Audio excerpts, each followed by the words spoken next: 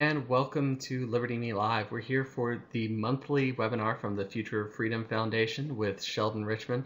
For those of you who somehow don't know, Sheldon is the vice president of the Future of Freedom Foundation and the editor of their monthly journal, Future of Freedom.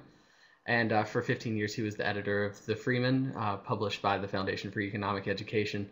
He's the author of several books, including Separating School and State How to Liberate America's Families and Your Money or Your Life Why We Must Abolish the Income Tax. And he is widely published on just about everything. He has a, a wonderful uh, column every Friday uh, called TGIF.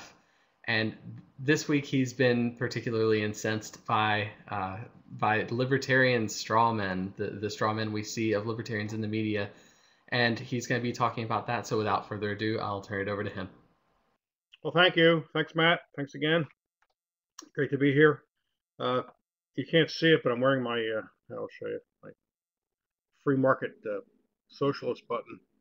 It's a, it's a great um, conversation starter in supermarket checkout lines. So I highly recommend it. Uh, well, yeah, Matt, Matt is right. Um, it seems like every few months there's a really idiotic article that, uh, in very somber tones, uh, uh, uh ostensibly uh, rebuts, refutes, demolishes libertarianism. And there's usually a common uh, element to all these articles. They totally misunderstand libertarianism. It's hard to believe it's a mistake or an accident. Uh, and I've uh, I've taken on quite a few of them myself. Sometimes I feel like uh, now I have to do another one. It's like a task, but but it does seem worth it. It's some, somewhat satisfying. I don't think it makes any dent on the in the other side. They never bother really to uh, follow up and and show where the uh, our debunking is wrong.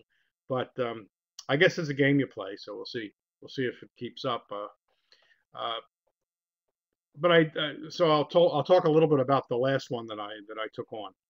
Uh, now, you know, maybe I'm being unreasonable, but I think it behooves a critic to understand what it is he's criticizing. That that doesn't seem like too crazy a demand. Uh, uh, it's true that tackling a straw man is much easier than dealing with challenging arguments, but that's no excuse for the sort of shoddy work we find in uh, John Edward Terrell's New York uh, Times post from about two weeks ago called Evolution and the American Myth of the Individual. I think you can already see where uh, John Edward Terrell is going. He's an academic, by the way, at the University, I believe the University of Illinois, Chicago.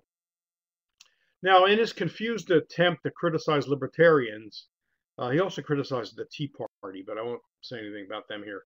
Uh, in his confused attempt to criticize libertarians, uh, Terrell gets one thing right when he says, quote, the thought that it is both rational and natural for each of us to care only for ourselves, our own preservation, and our own achievements is a treacherous fabrication, close quote. To which I say, indeed it is. Unfortunately for Terrell's case, it's his treacherous fabrication. Now, Terrell targets the Enlightenment and in particular Jean Jacques Rousseau uh, in his uh, case against libertarianism, which is doubly funny. Libertarians don't claim Rousseau as a rule, uh, as one of their forebears. Uh, he was an advocate of imposing the general will, the so called general will, which is ascertained through democratic procedures, on dissidents as a means of, as uh, Rousseau put it, forcing them to be free. So I asked Mr. Terrell, Dr. Terrell, Professor Terrell, whether that sounds very libertarian. Does that sound like something libertarians uh, sign on to? As for the Enlightenment, which he indicts as, as uh, excessively individualistic, I guess, last I checked, Adam Smith was a principal of the Scottish wing of the, that intellectual movement, and he would never have claimed that that quote it is both rational and natural for each of us to care only for ourselves our own preservation and our own achievements. I'm not aware of uh, french enlightenment economists who thought that either by the way. So has terrell never heard of smith's the theory of moral sentiments published in uh, 1859 that's 17 years before the wealth of nations and uh, smith revised this book throughout his life up to the year he died i believe uh, or is uh, Terrell in that group of scribblers who think the wealth of nations was all that Smith had to say about the human enterprise? And I'll add here that, of course, the wealth of nations also does not embrace the view that uh, Terrell ascribes to libertarians. For Terrell's edification, let me point out that the theory of moral sentiments is an extended discussion of what, what Smith calls fellow feeling, that is, our natural sympathy for others. Smith would laugh at any portrayal of the isolated, allegedly self sufficient individual as the summit of human development. No less than the Greek uh, philosophers, Adam, uh, Adam Smith understood how inherently social the individual person is. The self itself is a product of social life. People, he said, seek praise from their fellows and importantly, aspire to be worthy of praise. As he puts it, quote, what's so happiness as to be beloved and to know that we deserve to be loved? What's so misery as to be hated and to know that we deserve to be hated? Smith asks. The reason he makes clear is not merely that a good reputation produces material benefits. As he writes on the first page of the Theory of Moral Sentiments, quote, how selfish soever man may be supposed, there are evidently some principles in his nature which interest him in the fortune of others and render their necessary their, their happiness necessary to him, though he derives nothing from it except the pleasure of seeing it. By coincidence, just before reading Terrell's post, I had listened to Russ Roberts' Econ Talk interview with Vernon Smith, the Nobel laureate who is steeped in the economics tradition of Adam Smith and F.A. Hayek. The topic of discussion was the theory of moral sentiments, which is entirely appropriate considering that Roberts and uh, Vernon Smith are two of the small group of professional economists who are intimately familiar with that other Smith's uh, book, first book. Another, by the way, is Dan Klein, with whom Roberts held a multi-part book club discussion on Econ Talk. You can find that uh, that website for uh, with all the back uh, uh, episodes of Econ Talk, and I recommend those on uh, theory of moral sentiments. But as, as a general rule, I uh, recommend this this weekly podcast. I've, I've called it the podcast of the humility and economics movement, and I mean that as a compliment. Uh, while you're at it, check out Roberts' new book. He has a new book about the theory of moral sentiments called How Adam Smith Can Change Your Life An Unexpected Guide to Human Nature and Happiness. So you might uh, enjoy that book. Uh, so at one point in the interview, Vernon Smith, with enthusiasm, says to Russ Roberts, Adam Smith says, imagine a person, a member of, a, of the species, being brought up entirely isolated. He, sa- he says that a person, meaning Adam Smith says that a person can no more understand what it means for his mind to be deformed than for his face to be deformed. And Smith says I'm, par- I'm still quoting Vernon Smith. It's a little confusing here. We've got too many Smiths here. And Adam Smith says, I'm paraphrasing, Vernon Smith says, bring him into society and you give him the mirror he needed before. In other words, the looking glass in which we're able to see ourselves as others see us. Close quote. Thus, society is indispensable for the proper development of the person. Uh, this is in Adam Smith. Adam Smith is at the heart of the uh, Enlightenment tradition, which uh, libertarians and classical liberals have drawn on for uh, for many years. Something apparently uh, John Terrell doesn't doesn't know about. Vernon Smith has also written in an essay called "The Two Faces of Adam Smith," written in 1998, that Adam Smith's two published works both describe quote one behavioral axiom, the propensity to truck, barter, and exchange one thing for another. That's a quote out of the Wealth of Nations the propensity to truck, barter, and exchange one thing for another. Where the objects of trade I will interpret to include not only uh, goods, but also gifts, assistance, and uh, favors out of sympathy. I'm still quoting uh, Vernon Smith here. Whether it is goods or favors that are exchanged, they bestow gains from trade that humans seek relentlessly in all social transactions. Thus, Adam Smith's single axiom, broadly interpreted, is sufficient to characterize a major portion of the human and social enterprise. It explains why human nature appears to be simultaneously self-regarding and other-regarding, close quote. So I ask you, does it sound as though either of the Smiths would be inclined to deny, as Terrell puts it, that, quote, evolution has made us a powerfully social species, uh, so much so that the essential precondition of human survival is and always has been the individual plus his or her relationships with others. So keep in mind that Terrell is saying that libertarians would deny that statement. Uh, has Terrell not heard of Adam Smith or Vernon Smith? or F.A. Hayek or James Buchanan. Those were two Nobel laureates, so their names were in the newspapers. Or Russ Roberts or Dan Klein. And while we're at it, let's drop the name Herbert Spencer. Yes, the horrible Herbert Spencer. I'm sure Terrell, uh, uh, Terrell's uh, uh head would be exploding by my invoking Herbert Spencer here. But here's what Herbert Spencer wrote in his first book in 1851. The increasing assertion of personal rights is an increasing demand that the external conditions needful to a complete unfolding of the individuality shall be respected. Yet this higher individuation be joined with the greatest mutual dependence. Paradoxical though, uh, though the assertion looks, the progress is at once toward complete separateness and complete union but the separateness is of a kind consistent with the most complex combinations for fulfilling social wants. And the union is a kind that does not hinder entire development of each personality. Civilization is, a, uh, is evolving a state of things and a character and a kind of character in which two apparently conflicting requirements are reconciled. And, and, and Spencer anticipated what he, what, he said, what he called at once perfect individuation and perfect mutual dependence. Close quote. If Terrell has never uh, uh, encountered these thinkers, how much research could he have done before he opined about libertarianism? Don't forget, he's out to debunk libertarianism. So why should we take Terrell seriously at all? I wish I could understand intellectuals who seem to form a priori notions about their opponents do no empirical research to see if those notions hold up, and then go public with criticisms that should embarrass them badly. If I may say something in the spirit of uh, the theory of moral sentiments, I am embarrassed that a fellow member of the human race has written something so ridiculous. It embarrasses me. What people like Terrell, Terrell don't realize, or perhaps realize too well, is that the fundamental point in dispute is not whether the individual is a social animal or a creature best suited for an atomistic uh, existence. No libertarian I know of subscribes to the latter notion, that of atomistic uh, individualism. I've called the more appropriate model a molecular individualism. So the point that's in dispute is not this business about whether uh, human beings are social or not. That's not in dispute.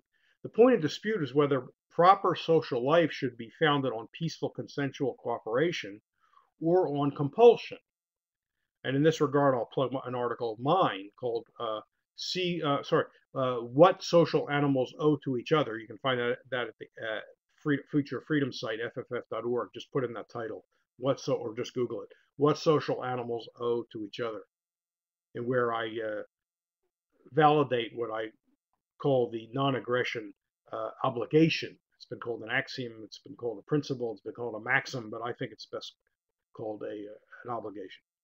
Terrell asserts a dubious distinction between thinking of society as natural and thinking of society, uh, thinking of society as a matter merely of convention. And uh, I say it's a dubious distinction and even a doubt of doubtful significance uh, because uh, the conventionalist thinker, let's think of David Hume perhaps, uh, still believes that given their nature, only a social existence generated by certain conventions is appropriate for human beings. So even if you take the position that uh, society is a matter of convention, uh, it's not. It doesn't follow that any convention is is appropriate for human beings. Uh, so I, I, think actually you can say that the the uh, conventional view, the conventionalist view, and the naturalist view collapse really and are, are really one view. But if, for argument's sake, we accept uh, Terrell's distinction and his preference for naturalism, and I'm not against it, uh, we still must ask if society is natural, why must uh, we be compelled to be social? Why is aggressive force, the initiation, the initiation of violence, which robs persons of their dignity and self determination acceptable when free and spontaneous uh, cooperation, voluntary exchange, and mutual aid ought to work reasonably well. Do the Terrells of the world believe that society would fail without violence? Uh, if so, I submit that that is bizarre. It is precisely because human beings are social by nature that physical force should be banned except to repel aggressors and to effect restitution for torts.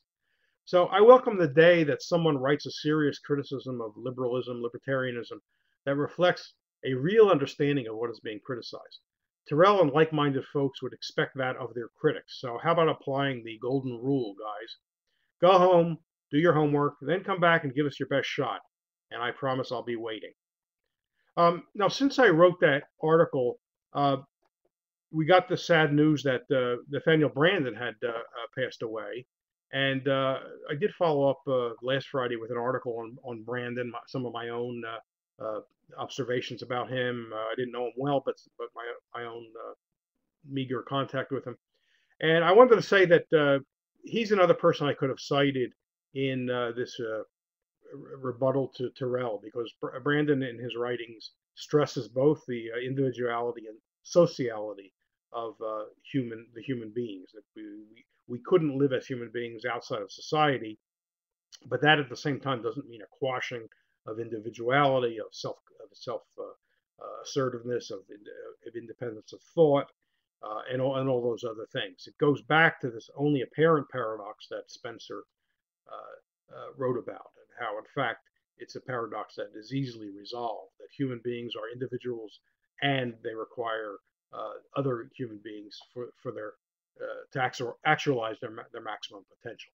Uh, I'm going to stop now so we can open this up for uh, conversation or questions or whatever you like to do. Uh, I hope that was provocative enough to get us going, and uh, I'll stop there.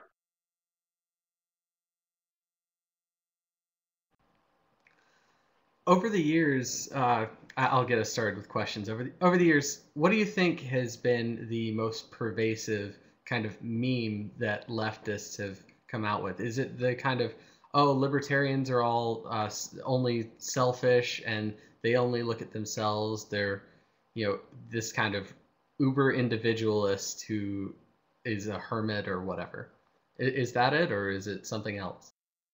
Uh, well, that's certainly. I mean, there may not be one. That's a, that's a big one and uh, it's it's an easy uh, way to scare people off who don't know much about libertarianism or or even uh, objectivism, and uh, it's a it's a good way to say, look, you don't want to read that stuff. These people are antisocial. They're you know they think they any every individual should and can make it make it on his own. They you know they uh, they have this uh, caricature of self-reliance. I mean there's a good sense of self-reliance but you can also twist it into something that's totally inappropriate right? I, I like to use the example of uh, i like to say that you know the libertarian ideal is not ted kaczynski without the letter bombs. If you remember the unabomber he lived up in this shack somewhere i don't know where in montana someplace uh, all alone on a mountaintop in a ramshackle uh, rundown hut uh, and you know never had any contact with people off the grid and all that and uh, of course, he was sending out letter bombs, which of course, uh, I guess even uh, even John Terrell would have to say is not a libertarian thing to do. So that's why I say without the letter bombs. But I, I don't know many libertarians who think that's the ideal existence. Even even if some and uh, choose that way of living, it, it, it, they're trying to get away of, uh, from current society. And so, uh, I don't think most libertarians would want to do that or see that as a proper way to live. So yeah, that's I think that's right. It's a good way to scare people off. Uh, now, I, I, will say out of fairness that sometimes libertarians have led uh, the critics or non-libertarians to believe that that is the model. I think some some statements are not quite carefully uh, uh drawn, and and you can uh, you can you can emphasize parts in Rand that do seem to imply that, and that so in some ways we using a vague we here now have given our opponents ammunition, maybe unwittingly. So I think we need to be a little more conscious of that and uh, don't be afraid to mention the theory of moral sentiments. It's a, it's a book worth looking at. Uh, I won't claim to have read the whole thing yet, but it's something I certainly aspire to do. But you'll get this the spirit of it very early in the book, uh, and uh, uh, we shouldn't just neglect that side of it. I mean, I think there are times when libertarians have neglected it, but it is it is not absent from the serious thinkers, the people who have written. I mean, look, we're interested in economics. What's economics? Economics is about exchange. Exchange is social cooperation. The division of labor is social cooperation. Uh, you know, human action, the second most uh, uh, used phrase in human action is social cooperation. I, I used to speculate that that was the case. I figured division of labor was the first most common phrase. And then a friend of mine actually subjected it to one of these computer programs that could count phrases, and I was right. Social cooperation is second, division of labor is first. But the division of labor is just another way of saying social cooperation. So we're all about social cooperation. We think that is the proper way to live, that there's a unlimited benefits of both a material and non-material kind. And so this is a crazy charge to throw at libertarians. Do you think that the language that Rand used, particularly uh, praising selfishness, which I mean, it, certainly she's using it differently there than most people use it. She's uh, she's kind of saying that uh, I don't know. Yeah. I'll I'll let you. Yeah, you know, and she says if you look at the introduction to that collection, she says uh, somebody was asking her, "Why are you picking that title?" And her answer was, "For the very reasons you're uh, asking. You're afraid of it." So she was a, she was doing sort of an in-your-face move. I think you have to keep in mind that the, the time she was writing, you know, Atlas Shrugged, the late 50s or through the 50s, and then into the 60s, where you had uh, uh, political figures and religious figures and just general cultural figures praising self-sacrifice as the ideal, as the duty, as the justification for the individual live, being alive. And so she she wanted to counter that. And so you can see where you might, if you're not careful, fall into uh, uh, diminishing uh, so, the social side of things. You know, I wish she, you know, and and and you know, it's been a while since I've read carefully through all her stuff. You may well be able to come up with the passages which would satisfy uh, what my complaint here. It would have been nice if there was something like the like what I read from Spencer. Spencer's very upfront in social in Social Statics, where he says, "Look, this looks this seems like a paradox, but it's not. How you can have this perfect individuality and perfect uh, social dependence, and neither one quashes the other one." So, uh, yeah, you know, we can hold her responsible. I don't want to be too tough on her for this because I think you have to look at the milieu somebody is writing in, and uh, so I'll just I'll, I'll, leave it at that. Maybe someone else will. Your thoughts.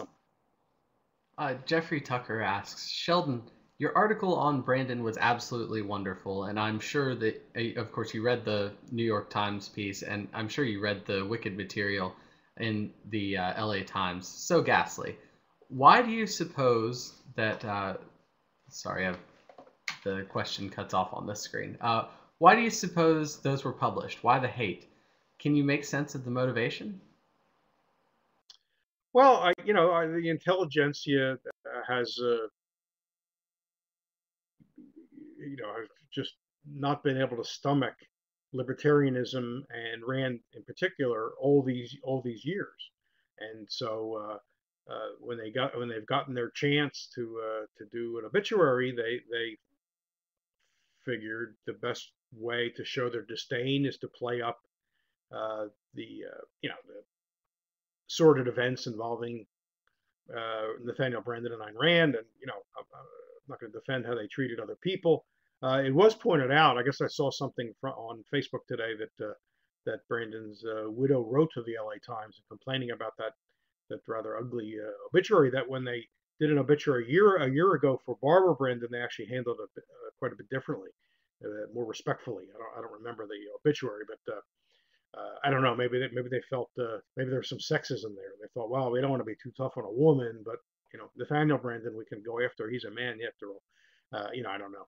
Uh, I just think all this venom comes out because they they they don't understand or they don't want to understand the libertarian approach. So they have to smear it as as atomistic individualism and you know hermit hermitism and uh, this was a great opportunity for them to uh, you know point out all the ugly stuff and say very little about uh, uh the positive stuff. I mean, I tried to uh, rectify some of that in my own piece, which uh, you know I'll happy to recommend to people. If you haven't read it, please take a look. You can find that at fff.org. It's also on Reason Reason.com this week. And it's also been posted in the chat here. Our next question is from Wesley. He asks, How can we encourage a dialogue with these critics? Well, I you know I try to do that. I I, I try to write respectfully. I I I, I got I have to admit my uh, maybe my other side got the better of me at the end of this article uh, where I said uh, go home and do your homework and come back and I'll I'll be waiting. That maybe was a little uh, condescending, but I got I was getting a little annoyed. I mean I I tried to seriously engage him. I don't know. And I, posted the link to that article uh, at the New York Times uh, uh, blog where his his post was. They allowed comments. I never heard anything. I didn't even go back to look to see if it was actually posted because it doesn't immediately uh, post. I guess they have to moderate it. So I, I don't know if it, I assume it's there. I haven't gotten any email not, not uh, letting me know that it, that it's there.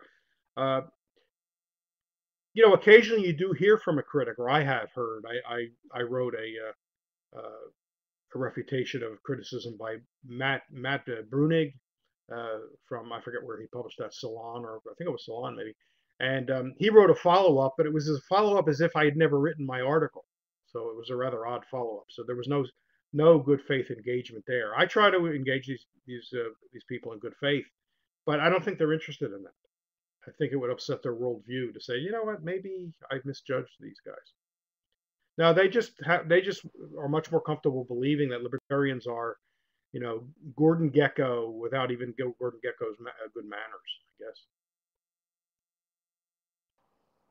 I should probably tell people how they can ask questions. If you have a question for Sheldon, there's a little box in the upper right that says Q&A. Just type your question in there and we'll get to it. Uh, Bart asks, do you have a reading list for those looking to pursue this line of thought, I guess, other than like theory of moral sentiments? Uh, hi, Bart. Um, well, I don't I don't have a formal list, but if you look through articles that I've done on social cooperation, both at uh, FFF.org and then previously at Fee, Fee.org, where I wrote a few articles by, by, the title Social Cooperation, Part 1, Part 2, Part 3, I forget how many, uh, you'll find lots of links and books mentioned. Uh, I mean, there's a whole, there's a host of them. There's the French economists from the 19th century, the early 19th century, uh, the people that were inspired by uh, Smith, but, but by J.B. Say uh, Bastiat, uh, Henry Hazlitt. I mean, you, will find many, many people uh, mentioned. So uh, that that constitutes a reading list. Yeah, if you you have to do a little digging, but you'll it won't be hard to find things. Now, when we're going about responding to these articles, when our non-libertarian friends post them on Facebook, do you have any advice for how we engage? Because a lot of times there's such this such a massive disconnect. People are, are talking past each other. Uh, a lot of people don't share our priors and a lot of libertarians don't know how to communicate with non-libertarians. What are your suggestions? Well i think uh, assume good faith on the other side even if you have a sneaking suspicion is not there because i think that'll serve you well so be respectful, you know, don't call names. Uh, take them seriously, and that may be reciprocated. So that's that's the object there. Uh, be patient. You know, don't get don't get mad. Don't assume uh, too much knowledge on the part of either that reader or the audience. And you know, the, you you may never even reach the uh, uh, the the person you're responding to, but you got you have spectators, so they're the ones you're you're playing to, and uh, assume a lot of them are not libertarians. So so uh, spell things out. Don't don't assume they already uh, know. So good manners. Just be reasonable and show good manners, and uh, you know that's the best you can do. And be as clear and articulate as you can, and uh, and you know be be honest. Be honest and respectful. I mean, it's sort of basic advice you'd give almost for any occasion. Do you think that libertarians often fall into the trap of, of, not assuming the best about their opponent's arguments? And do you think that we might have a better time if we at least try to, you know, have the assumption that our our opponents are not complete idiots? Yeah, you know, I'm a big fan of Socrates, and and what Socrates used to do, you know, as he walked through the uh, agora uh, in uh, in Athens would be uh, he'd engage people in conversation, and what he tried to do was to show that uh, you know uh, on the question of justice or virtue or you know some some subject like that, he'd show that they held some sound and noble belief about the subject, but at the same time they also held conflicting, uh, uh, less than noble beliefs. And he tried to show how they can uh, uh reconcile this by uh, modifying or throwing out altogether the the you know the not the the ignoble belief that conflicted with the noble belief, and and then bring them to a better understanding as a result. He did through questioning, mainly questioning, respectful questioning. Uh, that's a much better method than condemning someone as a hypocrite. I mean, uh, you know, you often hear libertarians say to uh, you know a left winger, "Ah, you care about the poor, but um, so how come you know?" And then X, Y, Z, you know, name the libertarian position. You're a hypocrite. Uh, you don't usually win someone over by accusing uh, him or her of being a hypocrite. That's not, that's not really designed to attract uh, listeners and, uh, and and get people to rethink. I think you'd rather it's better to take the Socratic approach. To you know, everybody to some extent, virtually everybody to some extent, ha- has an idea about the dignity of the individual. I mean, there are very few people who think the individual should have no rights whatsoever. That somehow authority or society as a whole should totally own and dictate to the individual what he can do. I don't know if there's anybody that takes that, that position. I mean, Mussolini did, but you know, there aren't a lot of people like Mussolini. Uh, and so you, you you need to find that libertarian element in people. Uh, you know, I, I I wrote an article previously, uh, I think at FFF.org, that you know most people are already sort of halfway to libertarianism because they practice libertarianism in their own lives by and large right? They would never go rob from their neighbor, or even to give to a starving person. They would realize there's something wrong with that. You have to use persuasion, not force. Uh, they just have different rules when it comes to the state, and there may be uh, different reasons for that. But we need to bring them to the understanding that there shouldn't be different rules. There's only one moral code, and it applies to everybody, all individuals, whether they have a government office or not. And so that's what we need to look at. Look at look for in people and then build on that draw that out and say but don't you see how that doesn't quite fit with this other position you have? That's that would be a socratic approach. And i think that has a better chance of succeeding than uh, one of uh, you know being uh, claiming you're holier than thou or, or more libertarian than thou and uh, you know denouncing people as uh, hypocrites Wesley asks, should we take these impotent critiques as a sign that we're gaining strength and catching more people's attention? Yeah, I think that's a good point. That's crossed my mind now and then. Why do they? Why are they so busy attacking the position? Uh, they, they seem to be uh, afraid that it has the potential to really spread, and of course, it's talked about more than it's ever been. You know, in the news media. You know, uh, a lot of you, I guess, are too young to remember this, but I can remember you'd never hear the word libertarian in a news talk, you know, discussion on television. Uh, even when there was a there was a, even when the Libertarian Party had already been set up, you still didn't hear it discussed. That word was never used. So there's been a lot of progress, even though it's not really understood. But it has broken through. We got to give Ron Paul a lot of credit for this. But it's it has broken through in some ways, and it gets a serious discussion. Uh, again, even if it's imperfectly understood. But I think that is a matter of progress. And so I guess we could we can gauge our success by how often we're attacked. It may seem like an odd thing to do, but it does give us uh, give us openings, right? It gives us things to write about, and uh, it gives us a chance to leave comments at websites, uh, and um, let's let's make the most of it.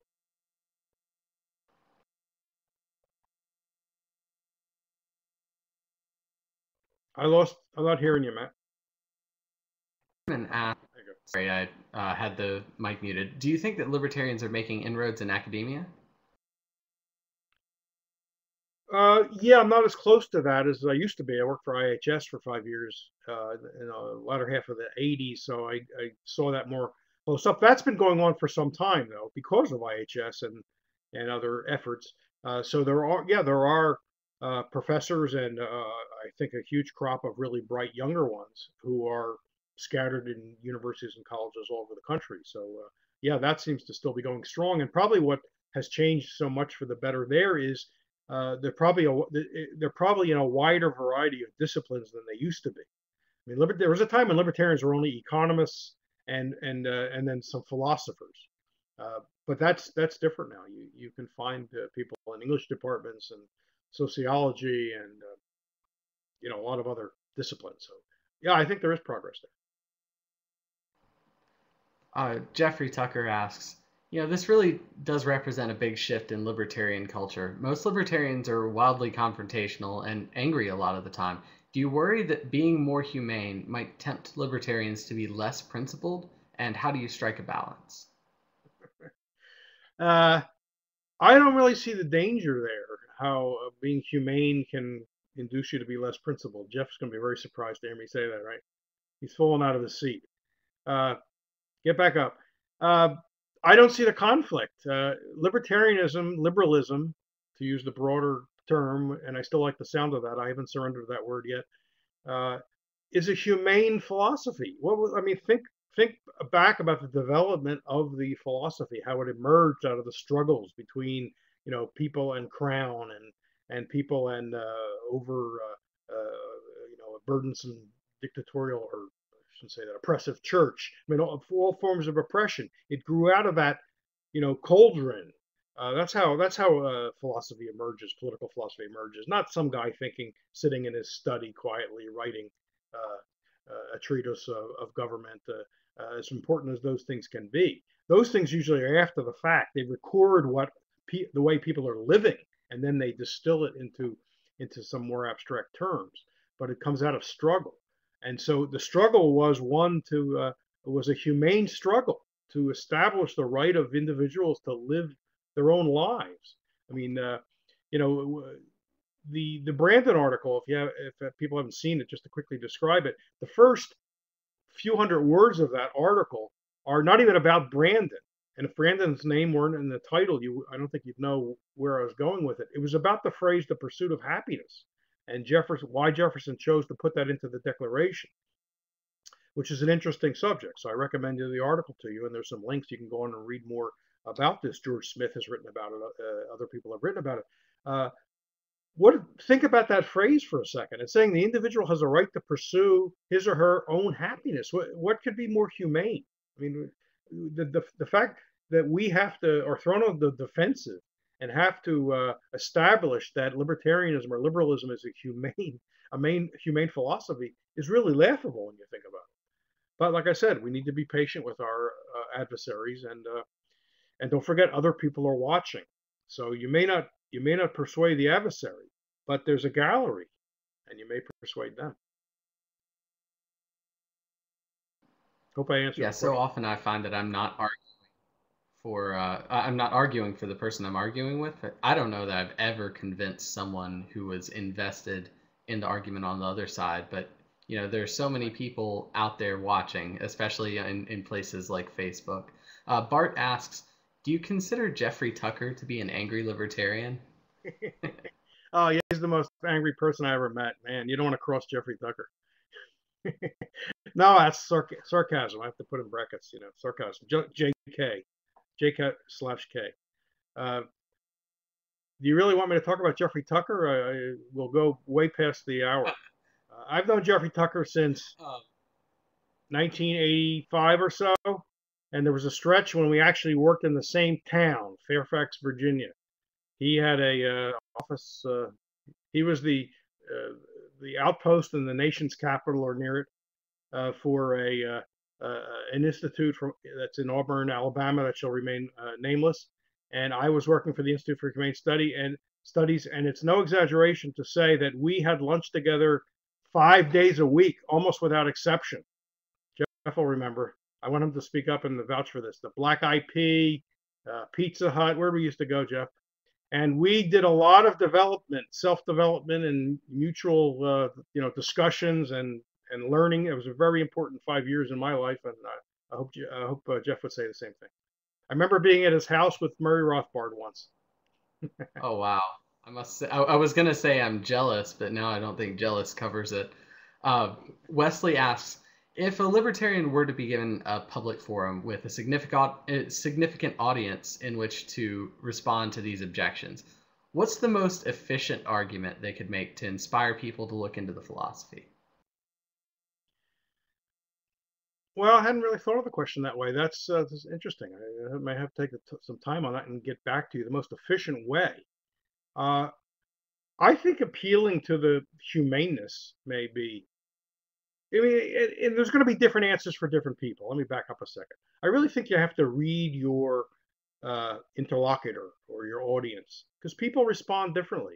I did an article uh, last year, I think, about the aesthetics of the free market, the aesthetics of libertarianism, because I had an experience at a Q&A session with a uh, with a, a, woman, an older woman who was challenging me about money and markets, and uh, and it made me see sort of an epiphany that for some people who are not really theoretically inclined, it's not their style, or maybe they haven't done a, a lot of theoretical reading and thinking over the years, but there are people who have an aesthetic aversion to markets. They think there's something ugly, unattractive about it. And you have to talk to that person differently than you're going to talk to someone who's a, you know, who prides, prides himself or herself on on uh, understanding economic theory or or moral theory.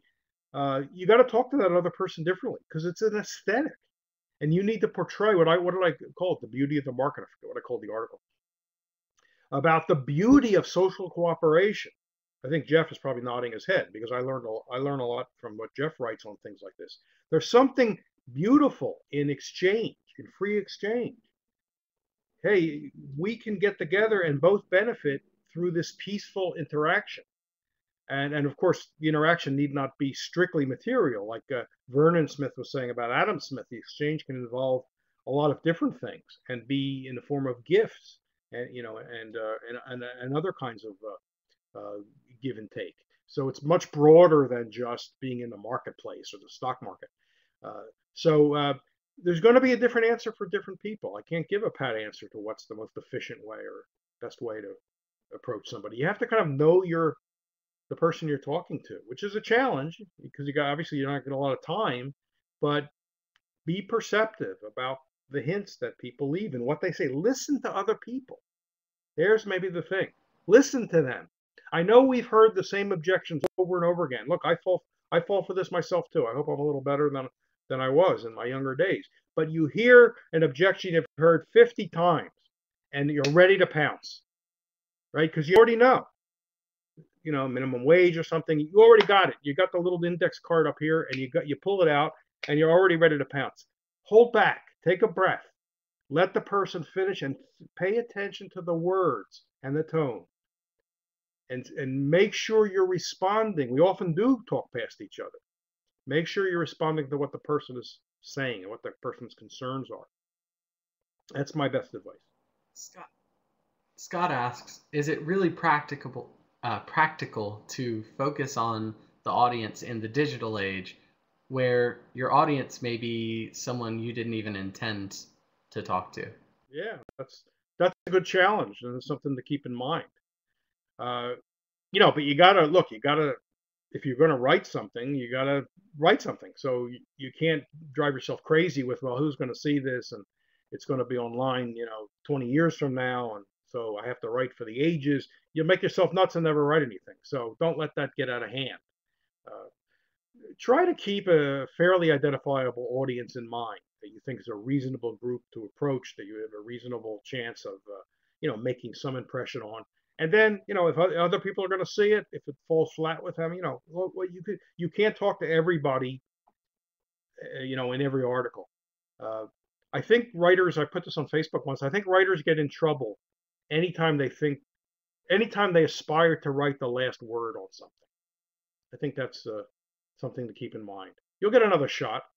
It's not going to be the only time you'll write on it. You'll come back if you're if you're a writer, you'll come back to the topics again and again, and you'll think of different angles to approach uh, uh, a given issue that was different from the first time. So just keep that in mind. You get a writer gets in trouble uh, anytime he inspires aspires to um, say the last word on a subject. Do you think that libertarians get too caught up in the words that they're using and don't worry enough about the commu- what they're communicating with the words they're using?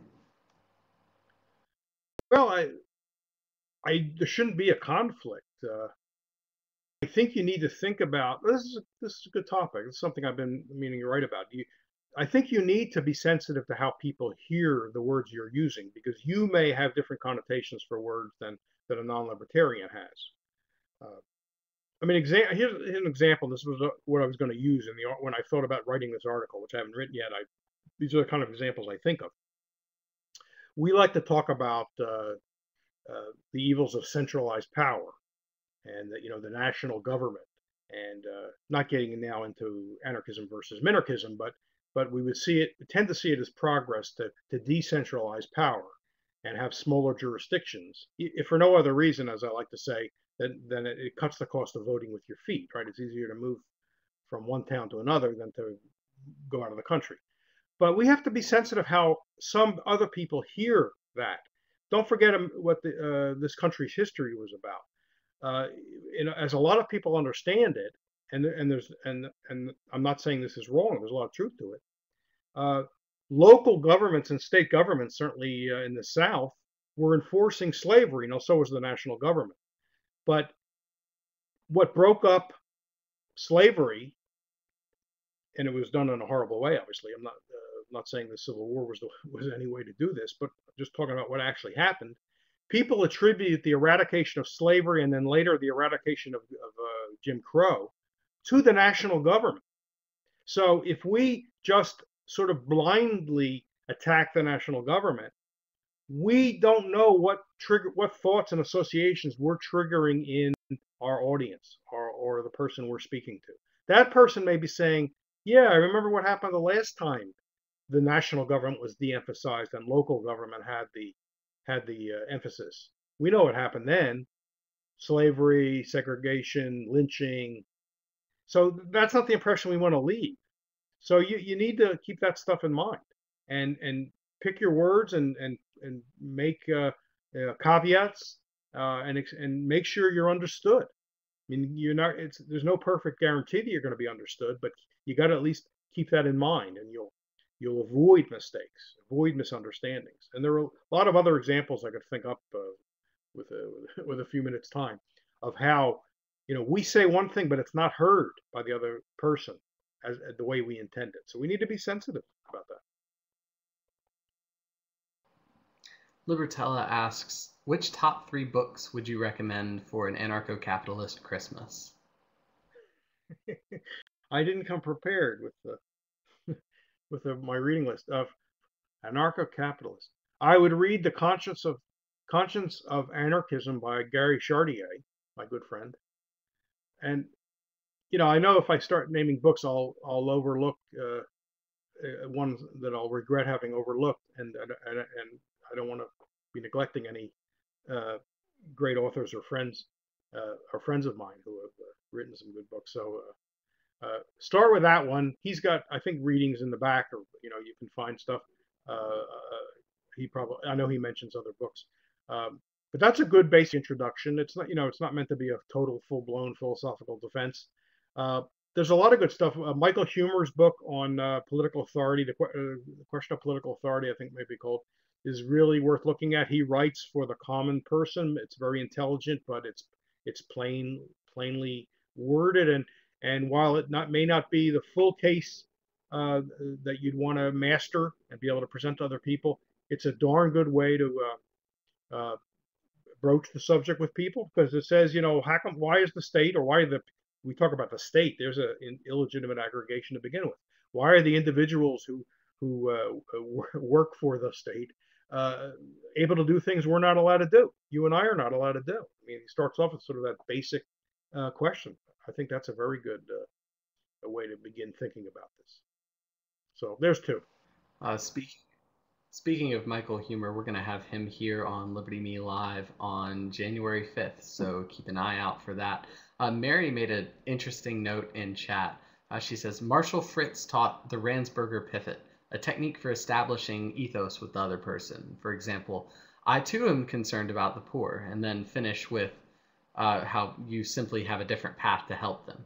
Uh, Marshall established advocates for self government to teach those communication principles. I think that's a, a very interesting approach. Marshall, I knew Marshall. I miss Marshall still. He's been gone a few years now.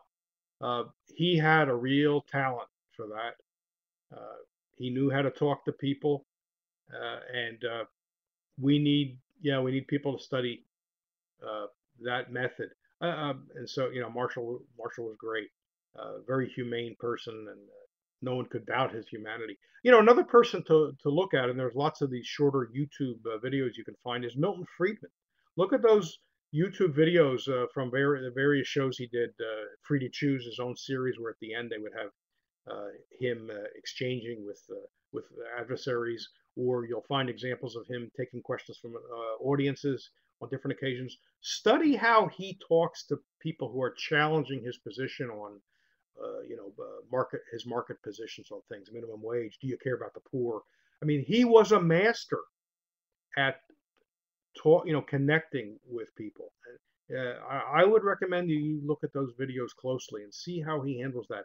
Always a smile. He's friendly. He's tolerant.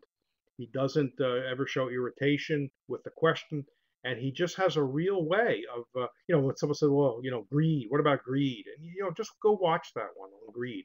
It's fa- it's fabulous. He he was a master of that. He had such a way of uh, of making himself and his position sound just so damn reasonable. So anything that was not that position just sounded almost, you know, l- like tyranny. And it, it's such an amazing way to, you know, pose it not only to the people that you're talking to, but for, for those watching. And it certainly worked well for him. He was such a, an amazing debater. You can. Uh, I'm gonna put out. You can learn that if you if you pay attention and watch it. You can you can do it.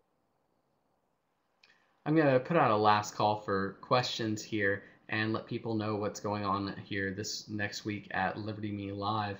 Uh, not a whole lot going on next week, but uh, tomorrow we've got Cal Molinet's monthly show, uh, Fight uh, Fight the Matrix. He talks about anarchy. He's excellent communicator. Hope hope you can uh, check him out. He's a rising star in the movement. Thursday night, we've got the one and only Butler Shaffer. He's going to be talking on the top of the topic of his book, In Restraint of Trade, the big business campaign against comp- competition, 1918 through 1938. He's you know just a tremendous resource on this. Uh, this is his second talk on Liberty Me Live this month, and we're going to have him two more times next month as well. So definitely check him out. He's going to be back here a lot. Saturday, we've got a talk by Zach Gochenour on uh, the legacy of Gordon Tullock. So if you've been putting off getting into public choice, come in, ask your questions, get some reading suggestions. Tullock is definitely someone you should know. He's a, a tremendous resource for, for liberty. And then next week we've got some some fun ones. Uh, Tuesday, uh, Angela Keaton and Lucy Steigerwald are going to be talking about uh, what else? War. And uh, kind of the anti-war tradition.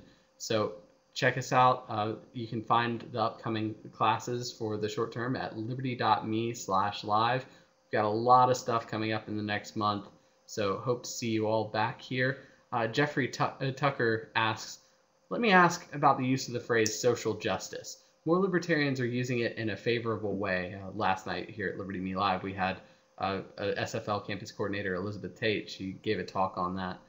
Uh, and yet, I think Hayek absolutely ripped into that idea. What's your view towards being adaptable on even these phrases? No, I think that's a useful phrase, uh, social justice. I think we we did uh, dump it or avoid it too quickly. Hayek was one of the big reasons. Uh, but you know, it's been used and I think defended well by Roderick Long and other and other people. Because I think what it does is goes to systemic injustice, not that you know not just a single individual act of injustice, which is sort of isolated, uh, cut off from uh, from other things, but there there can be systems of injustice, and uh, I don't think it violates uh, methodological individualism to talk in terms of of social ju- uh, social justice as a you know corrective for the systemic uh, injustice. So, so I yeah, I endorse its use. I mean, let's be clear about what we mean by it, and if we need to distinguish it from the way someone else might use it, like you know Robert Reich or somebody, uh, let's do that. Uh, but um, I, I no, I, I wouldn't I wouldn't avoid the term. Well, thank you so much. This has been a wonderful talk as usual and a, a wonderful conversation. Uh, we have the Future of Freedom Foundation webinars here every month uh, on the third Tuesday of each month. So Sheldon will be back next month. Hope you can all uh, join us here again. Thanks everyone for coming and being a wonderful audience. And thank you again, Sheldon. Hope to see you soon. My pleasure. Happy holidays. Take care, everyone.